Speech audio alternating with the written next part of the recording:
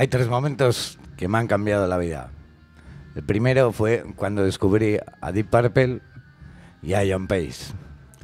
El segundo cuando mi aita me descubrió a Jimi Hendrix y conocí a Mick Mitchell y comprendí lo que era la libertad.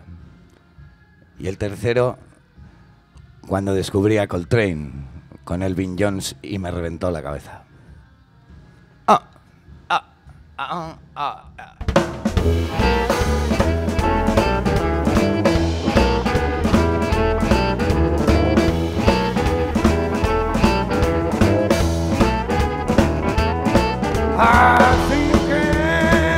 thinking, what's about my life?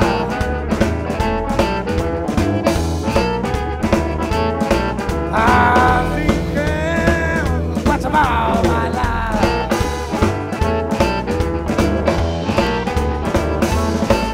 I've been drinking and drinking, pulling all around.